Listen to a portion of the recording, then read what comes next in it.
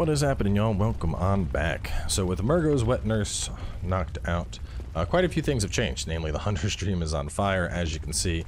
Uh, the doll looks like she's down for the count. She does get up. She's not permanently down.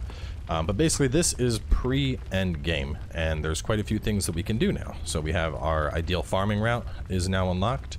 Uh, now is a good time to actually push through all the Chalice dungeons, and we can get two of the three endings we need for fighting the final boss. So uh, this is going to kind of be a uh, like almost a closeout episode. We still have the DLC and the chalices to do, but there's a lot of things we can accomplish uh, in terms of working towards our platinum that I want to cover in this episode, as well as um, two of our fights with Gehrman.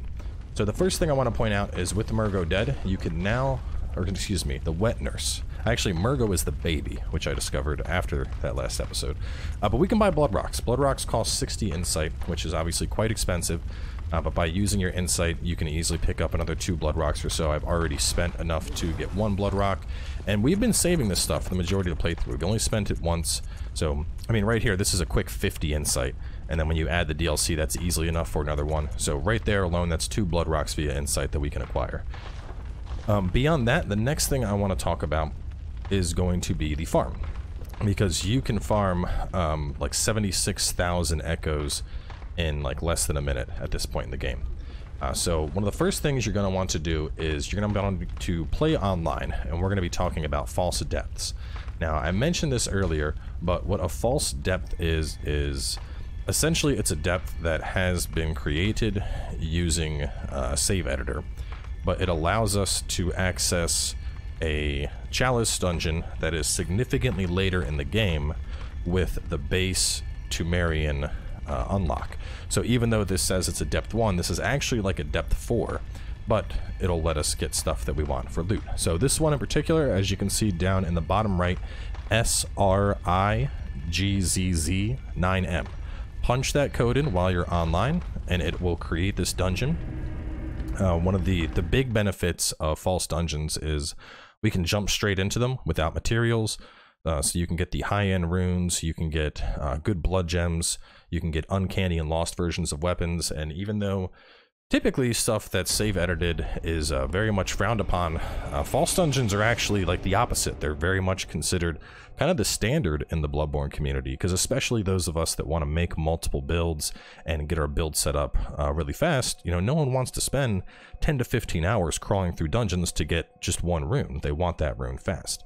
Uh, so this one in particular, we are just getting a farming rune. So once you go on in, we're just going to go straight. We're going to open up this, which as you can see has already been opened. Run down here. At this split, go left. Go up these stairs. Past that guy. As you can see, there's a hole in the floor right there. You won't see that hole initially, so just be careful around it. And instead, you're going to go left into this room, turn, and then go up these stairs here. Now there's a good chance you'll die here, but it's a pretty short run to get back.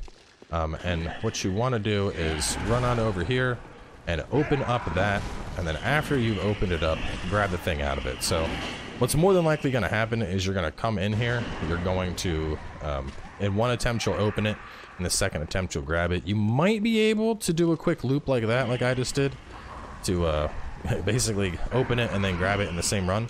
Uh, but don't even worry about killing all these guys. We're not worried about killing these enemies.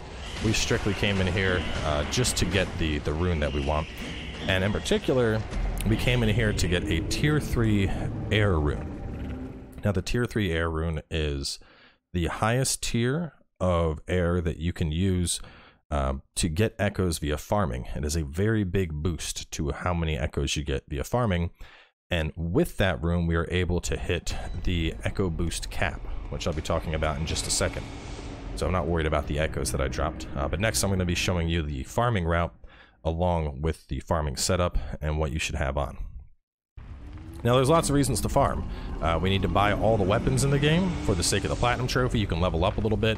Um, by this point in the game, I like getting to around level 100. It just makes everything a little bit more comfortable, kind of fleshing out our stats and whatnot. Uh, but for our farm, you could either go, there's, there's two different setups. You could go air, air, and moon, or you could go triple air. But the point is you're going to want the tier 3 air rune, the tier 2 air rune, and then I like having the tier 3 moon rune. Um, so this will allow you to hit the maximum uh, scaled percentage of increased echoes. Now before you go farm, make sure you have a couple of bold hunters marks just to make this even faster. As a reminder, you can buy bold hunters marks right here. They're pretty cheap. You're going to be pulling in a ton of echoes, so these are not going to be a problem. 1200 echoes a pop. Uh, you're also going to want to have your Augur of Ebrietas on. That's going to help out a lot. And we're going to go to the Wet Nurse's Lunarium. Now you're going to need to do this for at least 200,000 echoes just to buy uh, all the weapons that we're going to need. Right now we have access to everything except for two weapons, which we'll be covering those uh, very shortly. But so from here, we're going to run backwards, same way that we came from the boss. Step on the elevator and then walk into the corner, because we want to send this elevator back up to speed up our farming time. So after it lands, make sure you walk over that dot, little circle, send it back. You're just going to run past these guys, ignore them. They will de-aggro, they won't bother chasing you. And what's great about coming this way is you go right up behind these two pigs. So it's just one, two, three, very clean kills. And all we got to do is run behind Piggy 1, Augur. get a Visceral, and you might need to do a single attack if it doesn't die instantly. 25,798 echoes.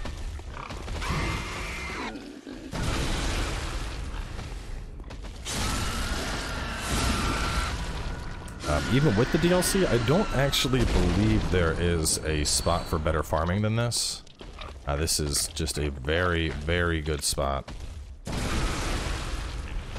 Especially because we have spent three bullets and a single bold hunter's mark and in exchange for that, we have snatched up 77,000 echoes and six blood vials.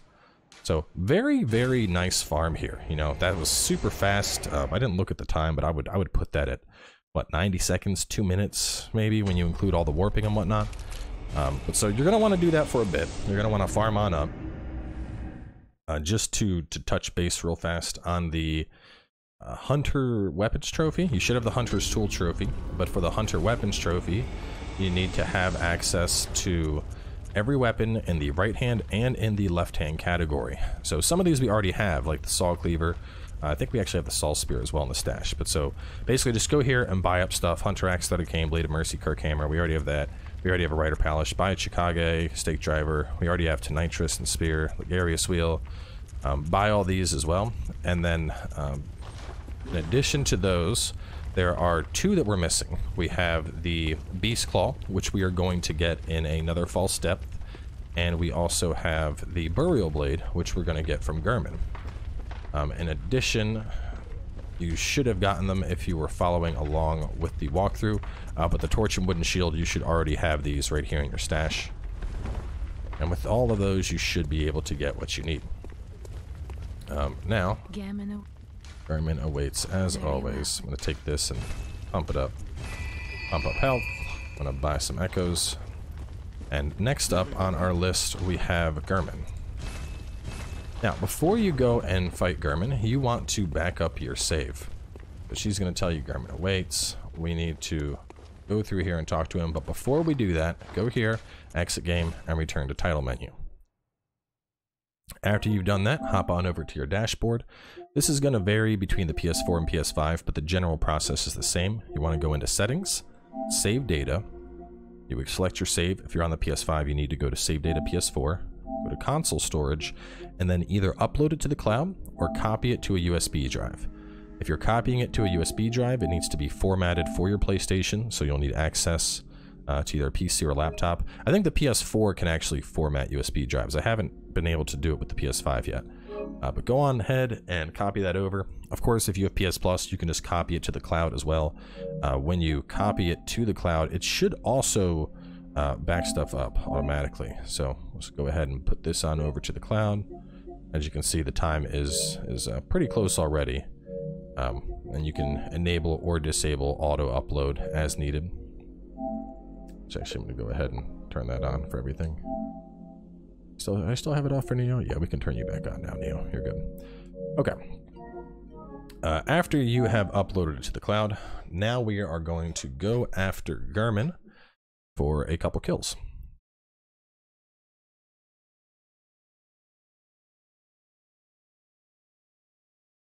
I'm going to kill him twice in particular.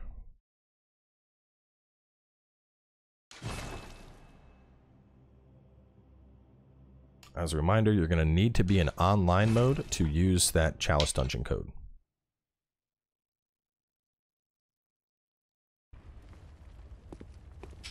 Okay, so now that we are spawned in, we're going to head on over to Gehrman. Get ready to ready for the actual fight. And you're going to talk to him. He's going to say, Your night's near your end. I'll show you mercy. I'll wake you up from this terrible dream. And then you're going to actually select Submit Your Life. Now, this is going to get you ending number one. Uh, with that particular ending, you basically wake up and this was all just a really bad nightmare. Now, after getting that, and this is why we backed up our save, you need three endings for Bloodborne, but you can save scum all three, just bam, bam, bam. Uh, and similar to before, you would go to settings after doing the, the refuse and getting that ending once the trophy pops. Go to save data, go on over to where you had your save data, and copy it to the console storage. So we'd grab it, we'd hit copy, it would close Bloodborne, and by doing that, it would put us right back to where we were uh, before we uh, talked to Gehrman. Now, we're going to assume you did that. I'm not going to go through it just to save some time here. But after doing that, next up, you would select Refuse. And with the Refuse, you're actually going to have to fight Gehrman. Uh, now, this is a very challenging fight, easily one of the hardest fights in the game. Gehrman is not easy to kill. Uh, I would suggest fighting him with the weapon in one-handed form. I'd suggest having some type of buff, and I'd suggest having your pistol ready to try and get uh, parries off on him. Trying to get parries with the augur is very hard. Oh my god, I just realized I didn't actually change out my uh, my runes at all. Yeah, we can just we can just go ahead and die. We can go ahead and die. I uh I that was a that was a rather big mistake.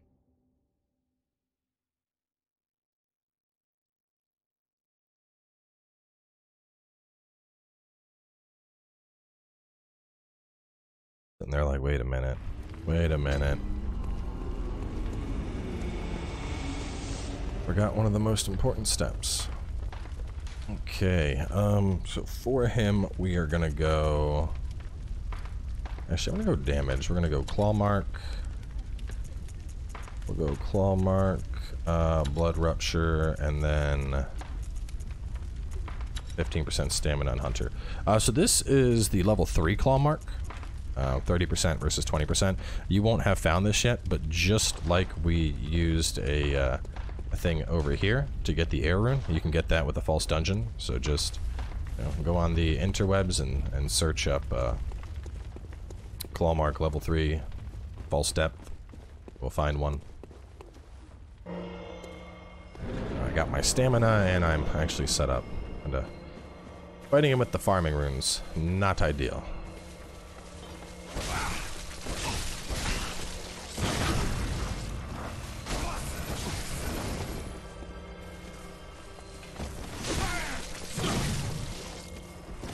A big part of this fight is aggression. You don't want to let him come up on you.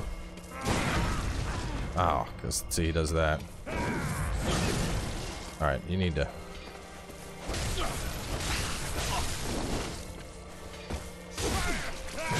That's the one attack that always gets me. I always try to, to parry it. I don't even know if I can, but I, I end up getting hit by it.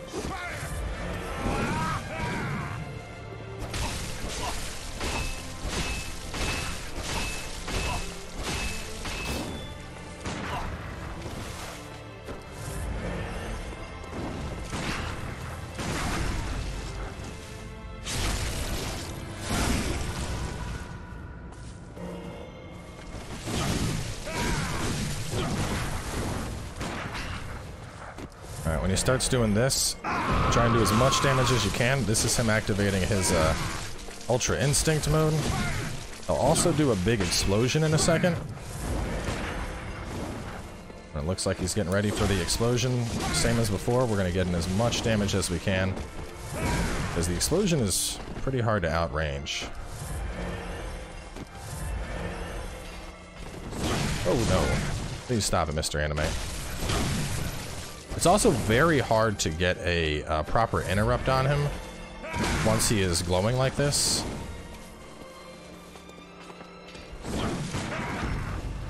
There we go. So after you go ahead and beat Gehrman, you will get the badge, you'll get a bunch of echoes, and then a cutscene will trigger, go through the cutscene, and you will get another ending. Now the big thing that comes down from the cutscene, that is the moon presence, and that's the real final boss of the game. We're not going to beat it just yet, but we are going to unlock access to it. So now what we have to do, having taken down Gehrman. Good. All right, by this point your trophy should have popped up, and the same as before. We're going to hop on over, we're going to go to settings, we are going to go down to save data, we're going to go to our USB drive, and we're going to copy it over. So at this point, you should have uh, two of the ending trophies. You should have the trophy for uh, the regular Gehrman ending, and you should have the trophy for the uh, submit your life ending. The third and final ending for the game involves beating the Moon Presence. Now, we aren't actually going to kill Moon Presence just yet, but we are going to go through the steps to trigger that ending now in addition to picking up the badge from Gehrman so that you can get the weapon that you need to get the all weapons trophy. Alright, so now that we are in, um, first thing we need to do here is let me go put back on those runes. I should have backed up having those runes on already. Unfortunately, I did not do that. Kind of a dumb mistake in retrospect. Uh, we're going to go back to, what was it, Rapture, Rapture Claw Mark, and then uh, Clockwise. And perhaps the most important thing to do before you go fight Gehrman this time is we need to eat the one-third umbilical cords. Now these are, uh, each of these is one-third of the umbilical cord from the baby old one. Uh, by eating the three of these, when the moon presence comes down, it basically like recognizes us as a baby old one, but at the same time it notices that we're like a human. And so it rejects us and decides to battle us. Because uh, it realizes that we, in a sense, like defiled its offspring, I guess is one way to describe it.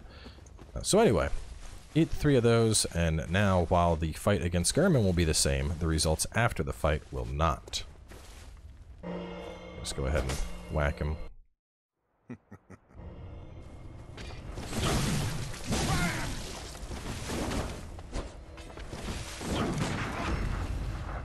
Oh, I got the... Come on.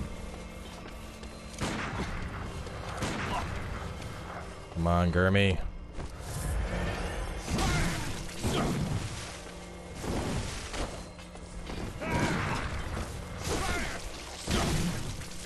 Alright, this is not not the smoothest start.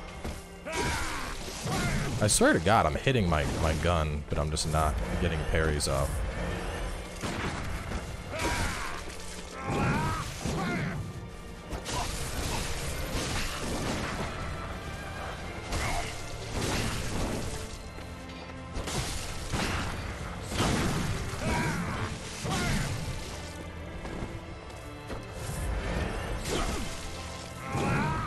I need to stop trying to...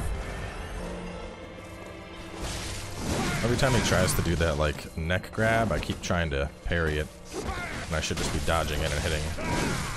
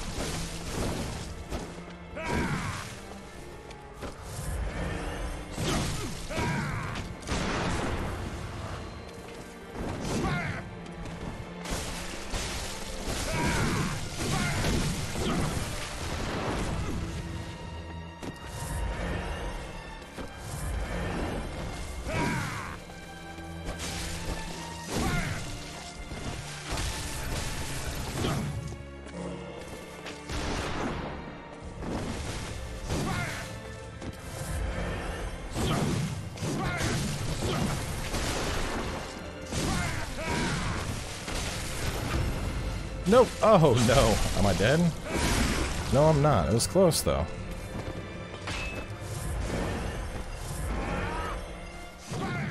Watch out for the tornado. Damn, the tornado still hit me.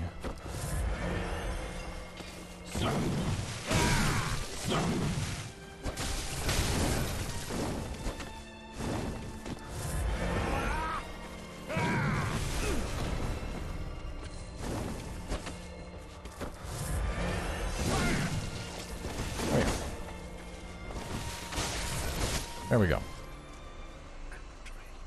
So anyway, I'm gonna I am gonna show this one cutscene just because it's one of the more iconic cutscenes in Bloodborne.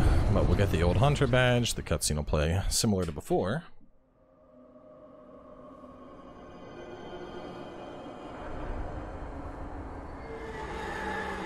Moon presence will come on down out of the sky.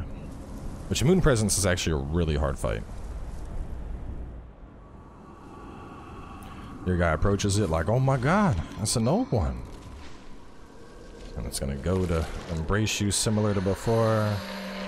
But when you get close, it realizes, wait!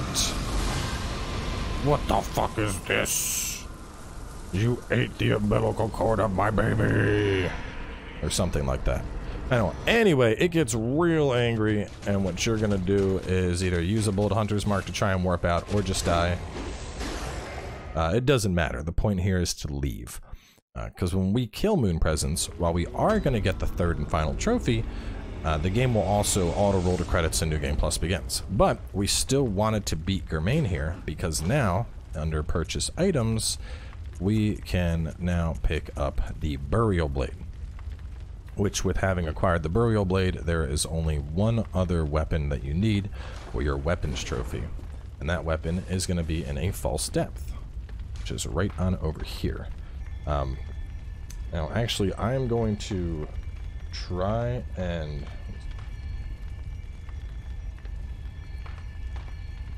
Alright, let's try and fit this in now. I think we can fit this in in one episode. Um, so anyway, the code C76P8SBE. Pop that on open. And this is an Ailing Loran chalice, which typically you wouldn't get to for quite a while.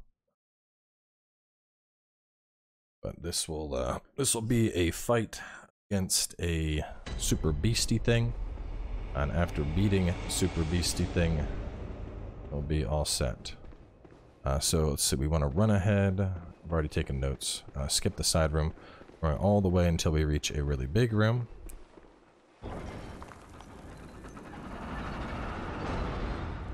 Get this. And there's going to be a ladder in the far back corner of the room. Got a seat over there.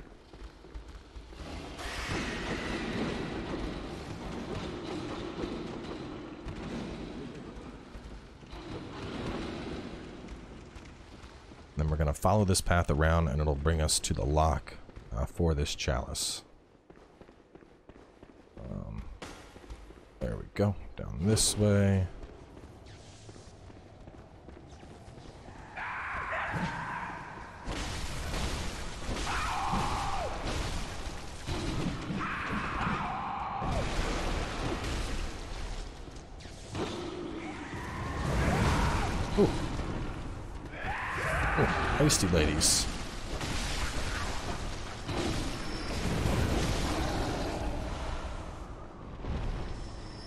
So doing all that, hit this.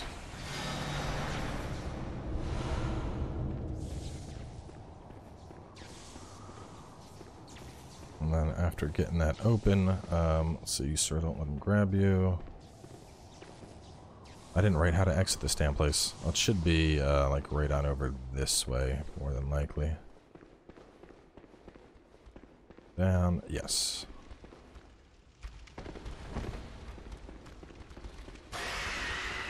And right on over here, I believe. There it is. Alright, now, actually, I don't know, what is my durability at? Can I get through this fight? 70? I can probably get through this fight. Um, so for this beast, you're going to want to have fire on. Uh, having a serrated weapon would actually be pretty good here, like the one I'm using, except I don't have the right decorations to actually make this viable, so instead we're just going to work uh, with our Ludwig Holy Blade and use fire. Um, this thing is basically just a super beast. Uh, the fight can be pretty challenging, so if you're unable to beat this right now, don't feel bad. You can just always come back and do it at a later time. Likes to throw fire, even though it is fire.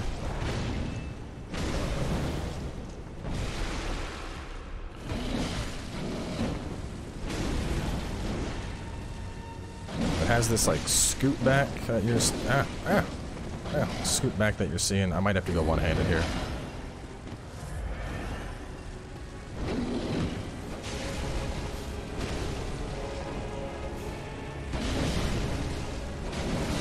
Ooh, yeah, as you can see, big, big bite coming in from the sky. And if you look carefully, you'll notice this is the same as that beast that we found uh, when we dropped all the way down the big hole and picked up our, uh, our thingies for the first time. Of our first rooms, we like dropped all the way down uh, in the hole that's below where we got our current weapon. So just doing that brought it down to 62. I'm, I'm going to go, I don't know if at risk impacts, so I'm going to try and go repair this.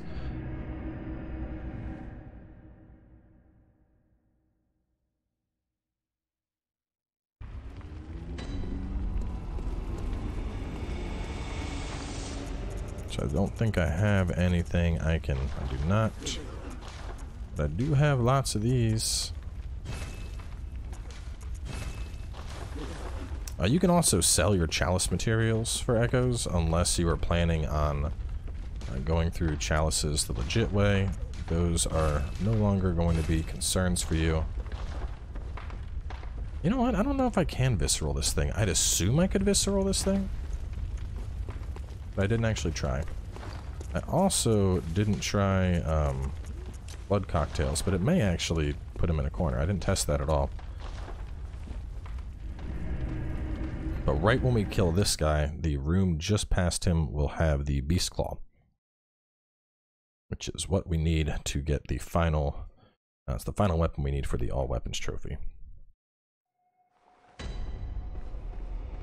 Obviously, when you warp back in, it's going to be uh, pretty easy here. We're able to just straight across, make a turn. Uh, you don't got to worry about all that extra stuff. I'm gonna pop this, and we're gonna try the blood cocktail and see what happens.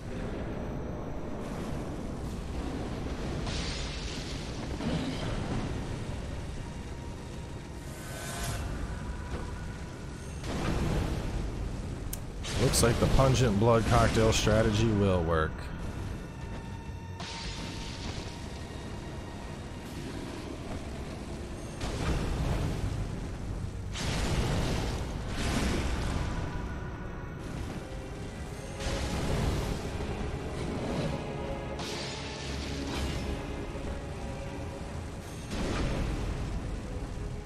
Man, yeah, that makes that. I'd really uh, that encounter. Actually, this was a pretty hard fight on the walkthrough prep. It took it took quite a few attempts to take that baddie down. Which makes me feel even better that I found a, a new strat. So you can hit that lamp if you want, but it doesn't matter. Uh, we're just going to take this elevator on down. And then there's going to be a bonus room right here.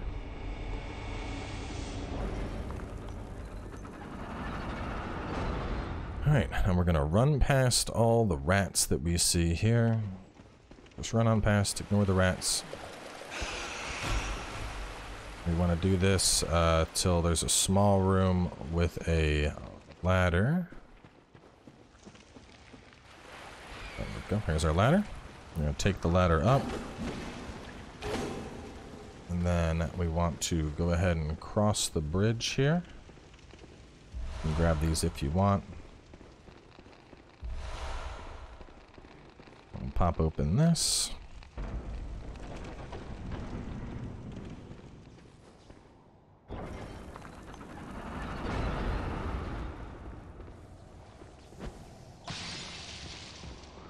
And we'll open this chest. And we now have the Beast Claw. So with that, go ahead and warp on out, and if you have already gone through and farmed up all of your echoes, after obtaining this, you should get your trophy for having all the weapons in Bloodborne. Um, so on that note, we are going to wrap things up. Uh, in terms of main game content, the only thing left is one more chalice, which is very, very hard, so we're going to save that for post DLC. And of course, killing the Moon Presence, which if we were to go and do that right now, we would be uh, in New Game Plus, which we don't want. So uh, instead, in the next episode, we're going to be starting the DLC. As a reminder, if you are missing any weapon, if you can't figure out what you're missing, just go here, go down the list, make sure you buy everything. I mean, if you want to be safe, just farm up and then be like, buy, buy, buy, buy, buy, and just make sure you buy every single thing one time. Uh, but either way, wrap it on up, and I will catch you soon enough as we dive into the DLC Old Hunters.